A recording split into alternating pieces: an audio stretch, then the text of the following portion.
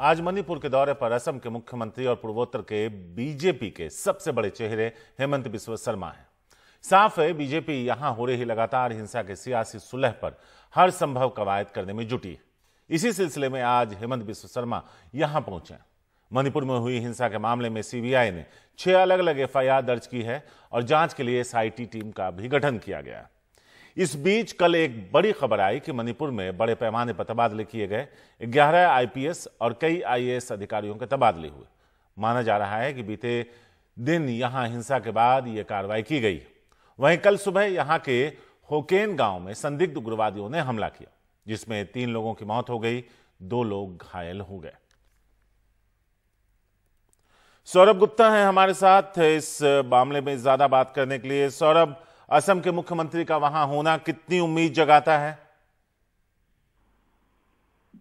देखिए आसाम का मुख्यमंत्री का मणिपुर में होना एक बहुत ही महत्वपूर्ण बात है, क्योंकि वो नेडा के कन्वीनर भी है, नेडा मतलब नॉर्थ ईस्ट डेवलपमेंट अथॉरिटी और भाजपा के लिए वो एक चीफ स्ट्रेटेजिस्ट है नॉर्थ ईस्ट के लिए नॉर्थ ईस्ट के लिए। कोई भी समस्या हो तो हिमंत बिस्व शर्मा का एक स्ट्रेटेजिस्ट के हिसाब से एक बहुत ही अहम भूमिका रहती है। और इस मामले में जब ये परिस्थिति सुधारने में समय लग रहा है और हिंसक घटना की खबरें अभी भी आ रहे हैं, इस सिलसिले में मणिपुर जाना हिमंत बिस्व शर्मा का और बीरेन्द्र सिंह के साथ मुलाकात करना, उनके जो विधायक है उनके साथ मुलाकात करना और फिर और बाकी भी मुलाकात करेंगे वो लोगों से। तो इन सारी चीज़ों में एक राजनीतिक सोल्यूशन निकालने की एक कोशिश है ये। हिमंत बिस्वा शर्मा आए हैं मणिपुर में मुख्यमंत्री के साथ जो उनका मीटिंग था वो खत्म हुआ है।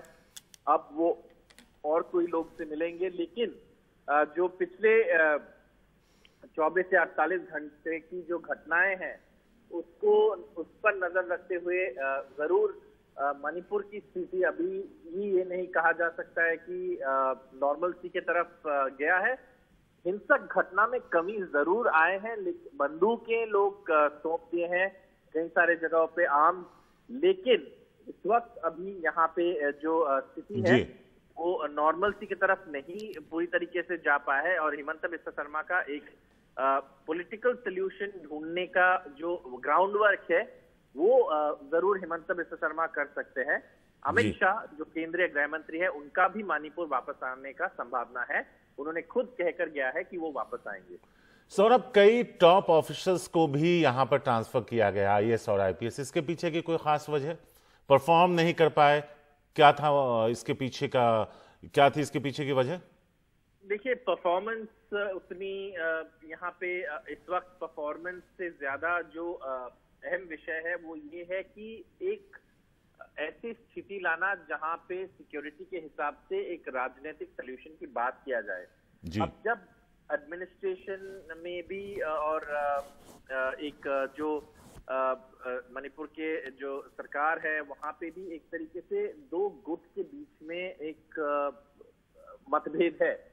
और केंद्रीय जो सरकार है उनका ये है कि एक न्यूट्रल एडमिनिस्ट्रेशन बिठाकर जो सबसे बात करे जी। या सब जगह पहुँच सके ऐसे एक एडमिनिस्ट्रेशन खड़ा करके आने वाले दिनों में एक राजनीतिक सोल्यूशन निकाला जाए। तो इस सिलसिले में इस पर नज़र रखते हुए जी। ये जो सारे ट्रांसफर्स है वो आ, आ, आ, किया गया है। ऐसे अनुमान किया जा रहा है।